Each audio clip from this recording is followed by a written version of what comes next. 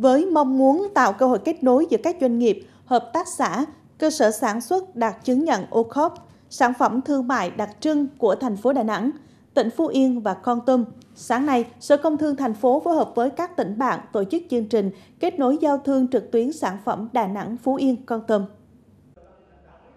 Chương trình nhằm tạo cơ hội kết nối giữa các doanh nghiệp, đơn vị sản xuất OCOP với các nhà phân phối có uy tín tại ba địa phương thông qua các ứng dụng trực tuyến, qua đó giúp các đơn vị tìm kiếm thông tin quảng bá thương hiệu, mở rộng môi trường tiêu thụ các sản phẩm thương mại đặc trưng của mỗi tỉnh thành, đồng thời tăng cường vai trò hỗ trợ doanh nghiệp của các cơ quan nhà nước, nhất là từ các hoạt động kết nối, hình thành chuỗi liên kết sản xuất, cung ứng, tiêu thụ sản phẩm hàng hóa, góp phần tích cực hỗ trợ khôi phục hoạt động sản xuất kinh doanh, giúp các doanh nghiệp vượt qua khó khăn. Tại chương trình, trưng bày hơn 170 sản phẩm OCOP, sản phẩm công nghiệp nông thôn tiêu biểu của 60 doanh nghiệp sản xuất Đà Nẵng, Phú Yên, Con Tum.